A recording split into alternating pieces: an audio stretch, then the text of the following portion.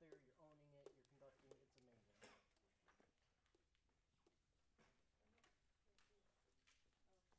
Um, yeah, like it's like six bar of 81 somewhere in there. There's a big crescendo decrescendo, and you look directly at me and you're like, "Give me that," I knew what to do.